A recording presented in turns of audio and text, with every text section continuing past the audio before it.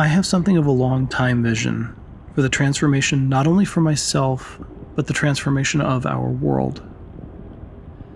And I'm not alone in this.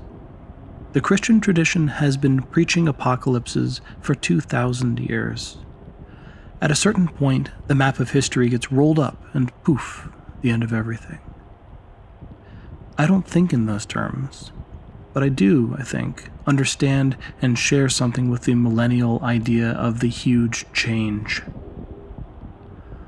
All of prophecy in the biblical sense cannot be wrong.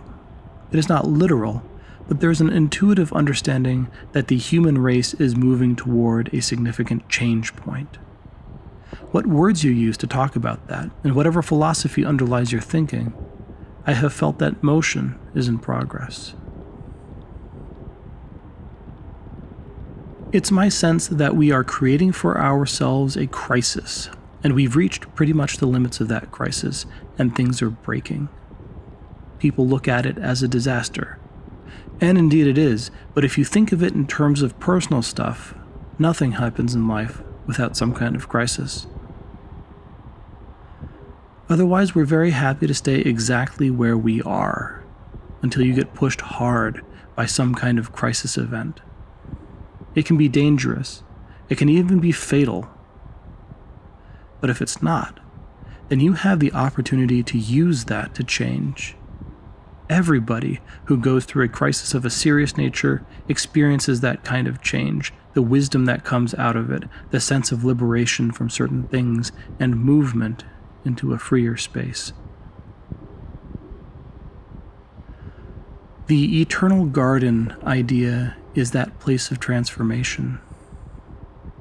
It is quiet and it is meditative. I guess you could find some sadness in it, but I think of it more as an ongoing journey through a lot of places. And you simply are making your journey. And you come to this, you come to that, you come to this, and you come to that, and that, and that, and that, and that. And it simply gets deeper and deeper and deeper.